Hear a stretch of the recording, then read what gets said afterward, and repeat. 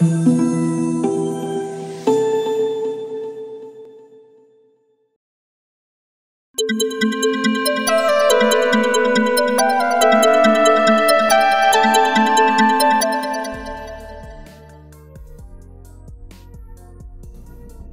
know, in recent times, um, solar panels and, and solar technologies is one of the most talked about topics uh, online.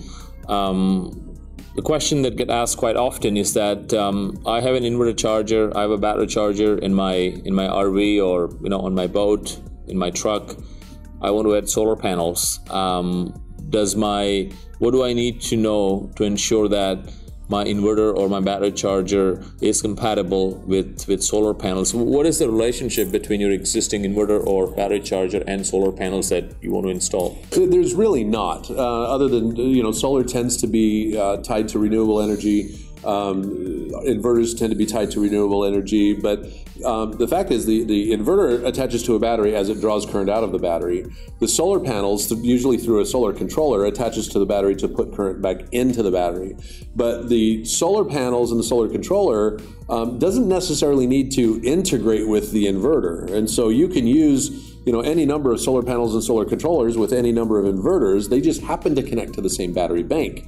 Um, the, the, you know the only exception to that is you know like maybe some network systems where the solar controller may talk to the inverter so that you can use a single control panel or, or a single uh, point of access to to look at and to, to manipulate data. But uh, but really electrically there's no relationship other than they both happen to connect to the same battery. Oh so what you're saying is that uh, if you have an inverter charger you know with an, with an advanced system control panel and you add uh, a charge controller that uses the same communication protocol, then you can see the information on the right control right. panel. So so you would have one access point to look at um, you know charge uh, voltage uh, as well as inverter draw and things like that. But um, but when you're talking about discrete components, it really doesn't matter which which gets tied to which, as long as they're as long as the inverter is is is made uh, is sized right for the battery bank you have. The charge controller is sized right for the battery bank you have, and and and the, the type of battery you have, like AGM or gels or things like that. Um, then then any solar charge system can work with any inverter draw system and, and it, will be fine. So what I understand is that you know unless you have a very sophisticated system like the Freedom SW inverter charger system, where uh, as I understand from what you're saying, um, if you have especially a COMBOX device.